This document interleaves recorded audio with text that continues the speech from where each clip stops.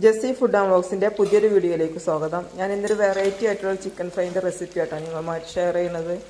അപ്പോൾ എങ്ങനെയാണ് ആ ചിക്കൻ ഫ്രൈ റെഡിയാക്കണമെന്ന് നമുക്ക് നോക്കാം. അതിലേക്ക് വേണ്ടിയിട്ടുള്ള ഇൻഗ്രീഡിയൻസ് എന്തെല്ലാമെന്ന് നമുക്ക് നോക്കാം.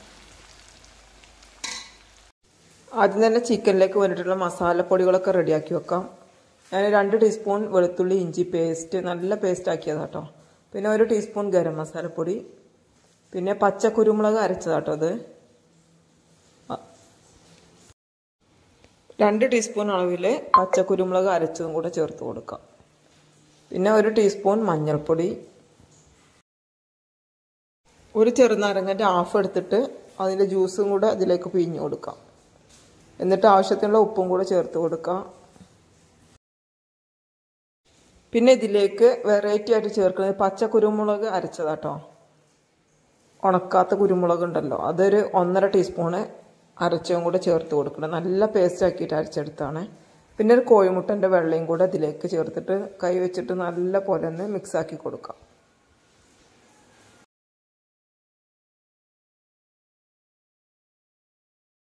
പിന്നെ ഇതിലേക്ക് തന്നെ കുറച്ച് മല്ലിച്ചപ്പ് അരച്ചതും കൂടെ ചേർത്ത് കൊടുക്കണം കേട്ടോ. ഞാൻ ആദ്യം അത് കുരുമുളക് അരച്ച ഇതിൽ അരക്കാൻ വേണ്ടിയിട്ട് മറന്നു പോയതാണ് അപ്പോൾ ഞാൻ വേറെ സെപ്പറേറ്റ് അരച്ചെടുത്താട്ടോ അത്.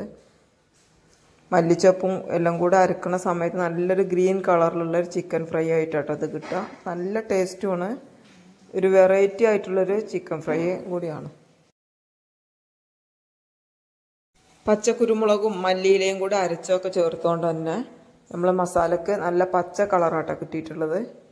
അപ്പോൾ നല്ലൊരു വെറൈറ്റി ആയിട്ടുള്ള മസാല ചേർത്തിട്ടുള്ള ചിക്കൻ ഫ്രൈ ആണ് ഇന്ന് ഞാൻ റെഡിയാക്കുന്നത്. ഞാനിവിടെ ഒരു കിലോ ചിക്കനാണ് എടുത്തിട്ടുള്ളത്. അത് ഞാൻ നല്ലപോലെ കഴുകി വെള്ളമൊക്കെ ഡ്രൈ ആവാൻ വേണ്ടിയിട്ട് വെച്ചതായിരുന്നു കേട്ടോ അതിന് ശേഷമാണ് നമ്മൾ മസാലയിലേക്ക് ചേർത്ത് കൊടുക്കുന്നത് വെള്ളമൊക്കെ നല്ലപോലെ ഡ്രൈ ആയിട്ട് വേണം നമുക്ക് ചിക്കന് മസാലയിലേക്ക് ഇട്ട് കൊടുക്കാൻ.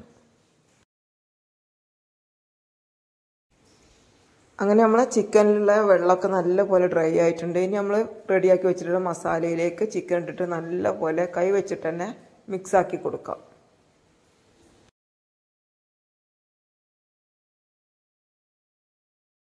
മസാലയൊക്കെ ചിക്കന്റെ എല്ലാ ഭാഗത്തും വിത്തണ വിധത്തിൽ കൈ വെച്ചിട്ട് തന്നെ നമുക്ക് നല്ല പോലെ ഒന്ന് മിക്സാക്കി കൊടുക്കാം കേട്ടോ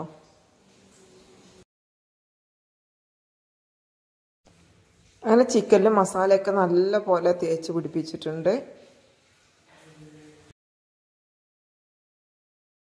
മസാല തേച്ചിട്ടുള്ള ചിക്കൻ ഇനി നമുക്ക് ഒരു മണിക്കൂറെങ്കിലും റെസ്റ്റ് ചെയ്യാൻ വേണ്ടിയിട്ട് വെക്കാം. അത് ഫ്രിഡ്ജിൽ വെക്കാം കേട്ടോ അങ്ങനെ ഒരു മണിക്കൂറിന് ശേഷം എടുത്തിട്ടുള്ള ചിക്കൻ നമുക്ക് ഫ്രൈ ചെയ്തിട്ടെടുക്കാം. അതിന് തന്നെ ഞാനൊരു ചീനച്ചട്ടി വെച്ചിട്ട് അതിലേക്ക് ഓയിൽ ഒഴിച്ച് കൊടുത്തിട്ടുണ്ട്. എന്നിട്ട് നമ്മൾ മസാല തേച്ച് വെച്ചിട്ടുള്ള ചിക്കൻ പീസുകൾ കുറേശ്ശെ ഇട്ടിട്ടൊന്ന് ഫ്രൈ ചെയ്തിട്ടെടുക്കാം.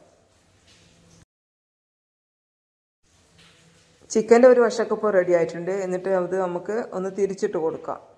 നല്ല ഗ്രീൻ കളറിലുള്ള ഒരു ചിക്കൻ ഫ്രൈ തന്നെ കേട്ടോ അത് റെഡിയായി വരുന്നത്. അങ്ങനെ ഇത് ലോ ടു മീഡിയം ഫ്ലെയിമിൽ വെച്ചിട്ട് തിരിച്ചും മറിച്ചിട്ടിട്ട് നമുക്ക് നല്ലപോലെ ഒന്ന് വേവിച്ചിട്ട് എടുക്കണം.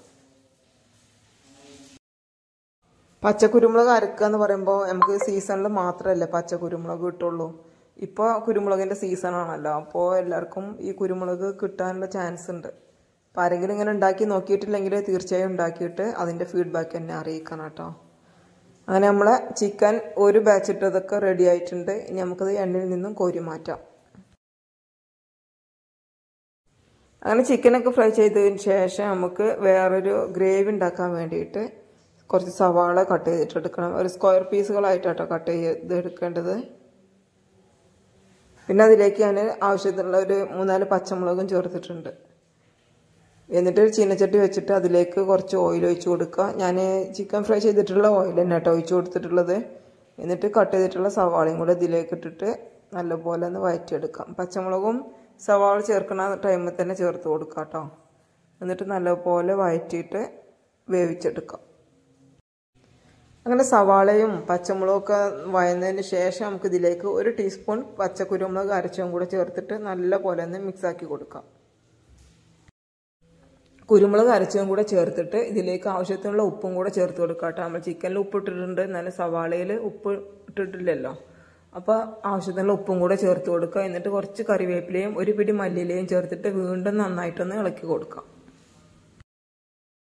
പച്ചക്കുരുമുളകിന്റെ പച്ച സ്മെല്ലൊക്കെ പോകുന്നവരെ നമുക്ക് ഇത് ഇളക്കി കൊടുക്കാം കേട്ടോ. എന്നിട്ട് ഇതിലേക്ക് രണ്ട് ടീസ്പൂൺ ഗ്രീൻ ചില്ലി സോസും കൂടെ ചേർത്തിട്ട് വീണ്ടും നന്നായിട്ട് തന്നെ ഒന്ന് ഇളക്കി കൊടുക്കാം. സവാളയും പച്ചമുളകും പച്ചക്കുരുമുളകിന്റെ അരച്ചതും എല്ലാം കൂടെ നല്ലപോലെ വഴറ്റിയതിന് ശേഷം ഇതിലേക്ക് നമ്മൾ ഫ്രൈ ചെയ്ത് ഫ്രൈ ചെയ്ത് വെച്ചിട്ടുള്ള ചിക്കനും കൂടി ഇട്ടിട്ട് വീണ്ടും നന്നായിട്ട് തന്നെ ഒന്ന് ഇളക്കി കൊടുക്കാം. ചിക്കനും സവാളയും എല്ലാം നല്ലപോലെ വഴറ്റി എടുത്തിട്ടുണ്ട്.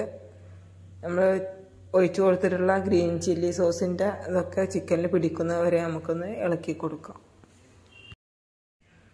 അങ്ങനെ വെറൈറ്റി ആയിട്ടുള്ള ചിക്കൻ ഫ്രൈ റെസിപ്പി എല്ലാവരും ഒന്ന് ട്രൈ ചെയ്ത് നോക്കുക. ഇഷ്ടമെങ്കിൽ ലൈക്ക്